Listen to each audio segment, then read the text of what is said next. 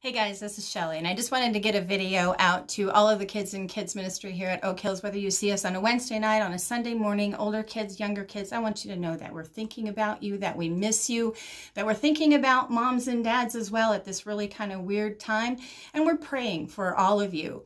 Um, I'm going to be trying to send a video each Monday just to kind of check in, see how everybody's doing, and on Wednesdays, just to keep some normal Wednesday routine, I'm going to send a lesson and a memory verse, and it was so great to hear from all of you that uh, let me know that you did a memory verse last week. We're going to find some way to, uh, creative way to use those points.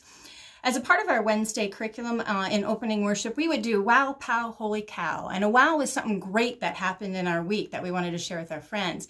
A pow was something not so great that we wanted to get rid of. And a holy cow was a way we had seen God work in our week. So I want to share with you my wow, pow, and holy cow.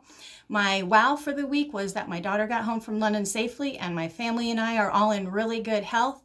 And I want to give five claps to all those teachers out there that are working through this online remote learning and to all the healthcare providers that are on the uh, front lines. We thank you and we love you.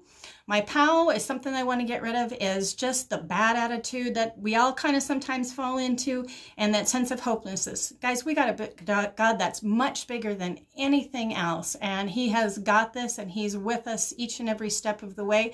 So we're just going to get rid of that sense of uh, hopelessness. Whoosh! And our holy cow is the way we've seen God work in our community and the different uh, acts of kindness and the way we see people kind of pulling together. I was out on a run this morning and uh, I saw that somebody had written some messages in chalk on their sidewalk. And I just thought that was so uplifting as I was going along and just something really cool to see. Now, guys, as the um, as the weeks go on, we're going to go into homeschooling, and it's going to be kind of frustrating. It's going to be new. It's going to be all these things. So I just want to remind you to extend some extra grace to yourself.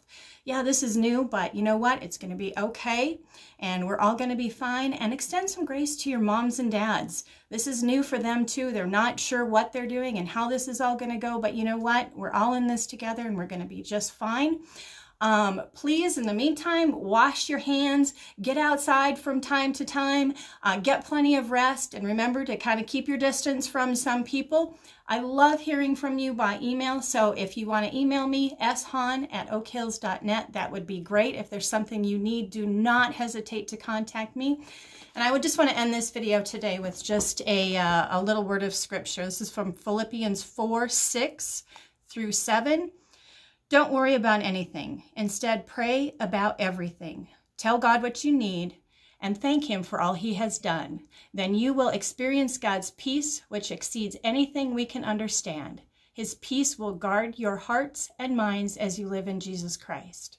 Remember, pray often, and God is in this with us. I miss you, I love you, and I hope to see you very soon.